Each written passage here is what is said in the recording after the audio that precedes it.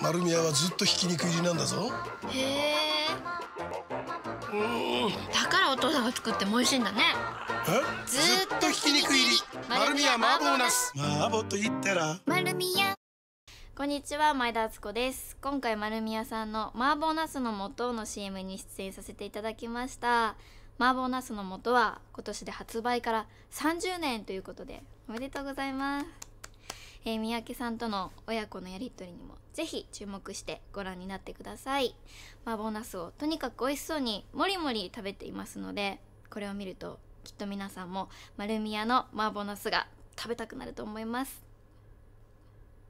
うんとにかく麻婆茄子をたくさん食べてあとは三宅さんとのやり取りが本当に楽しかったです。あの実際にあの、まあ、年は少し上ですけど娘さんがいらっしゃるということで本当にお父さんみたい前回も思ったんですけどすごい幸せでした。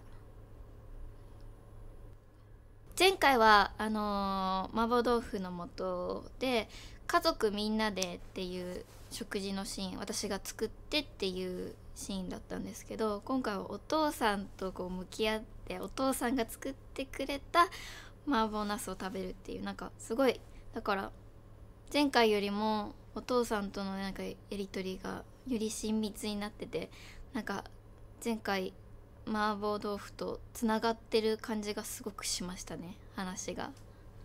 だからやりやすかったです。うん30年後ですか。うん50何歳とかなのでそうですね。自分の娘息子が今の私ぐらいの年齢になっててそうですね自分が親として子供とそうやって団らんに食事ができるようなそんな30年後になってたらいいなって思いました。